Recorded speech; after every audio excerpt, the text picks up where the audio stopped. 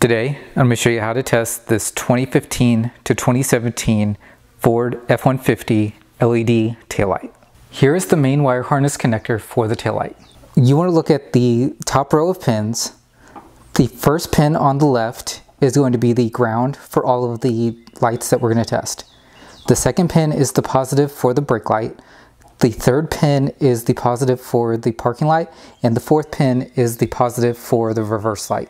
I'm going to connect my test leads and then we'll go ahead and test the lights on this taillight. I have my ground connected to the first pin and my positive lead to the second pin. So here is the brake light working.